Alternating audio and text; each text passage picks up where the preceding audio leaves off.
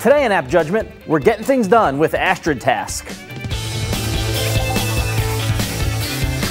This episode of App Judgment is brought to you by Verizon Droid Apps. Welcome to App Judgment, Revision 3's mobile phone application review show. My name is Ron Richards, and in my professional life, I'm a huge believer in the getting things done methodology. Never heard of it? Well, go read the book by David Allen and have your world become way more productive. A part of getting things done is having the right tools to use, and a good task manager is a must have app for any productive person.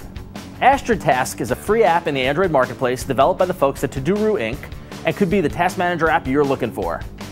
Astrid Task falls into the category of a deceptive application. When you first open it, you don't get any help or indicators of what to do, rather just an empty screen and an entry box at the bottom to enter a task.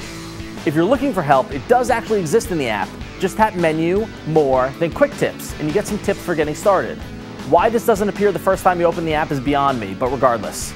So we're on the main screen, you can enter your task, press the plus button, and your task has been added to your to-do list. See? Easy as that. You'd think this app would be more complex, and well it is. You just have to find it. If you long tap on your task, you get a menu with choices to edit the task, delete the task, or start a timer. Let's edit it first. Tapping Edit Task unveils the magic and detail of Astrid Task. This is a getting things done jackpot. Along the top, you've got three tabs, Basic, Dates, and Alerts. In the Basics tab, you can edit the summary of the task, change the importance level of it, add tags to the task, or add a duration for how long the task will take, as well as any additional notes that you might have.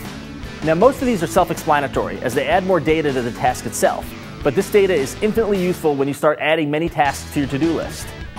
Tapping the Dates tab gives you a list of date-related options. You can set an absolute deadline for the task, a goal deadline, and you can add the task to your calendar.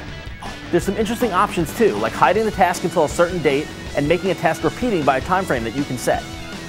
And finally, on the Alert tab, you can set reminders to have your phone alert you periodically and for various reasons, like when a deadline is approaching or when it's arrived. There are a ton of ways to use your phone to remind you when and how to stay on task. With the basics of the app down, how can you make it work for you? More about that after this word about Verizon Droid apps. Droid does apps.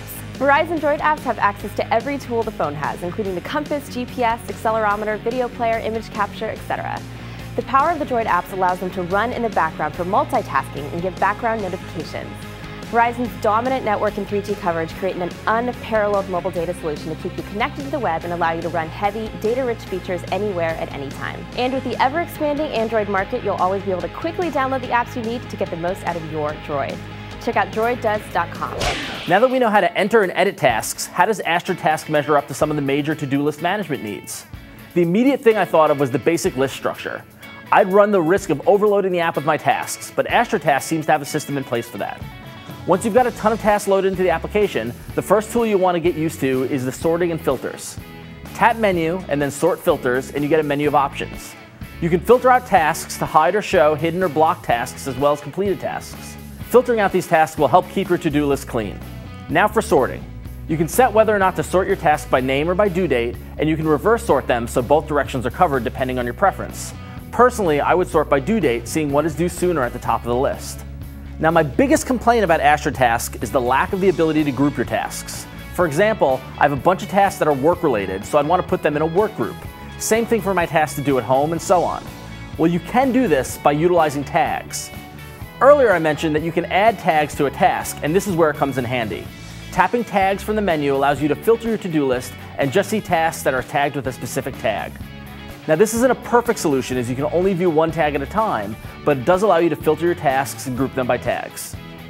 Astrid has a bunch of other options available. For example, if you hit Menu, then More, you can access the synchronization settings. If you happen to use the website Remember the Milk to manage your tasks online, you can easily sync this app with your task list on Remember the Milk, which is very cool.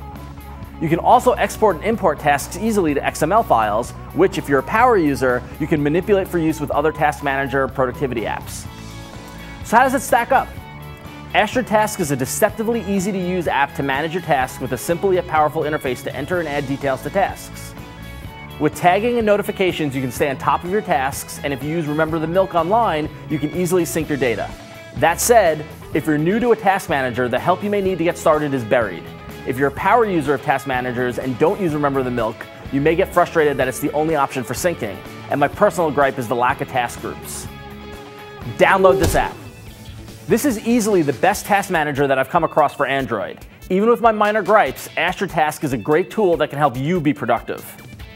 Are you using Astrid Task? What do you think of it? Email me at appjudgment at revision3.com, or you can check us out online on Facebook, Twitter, or on YouTube.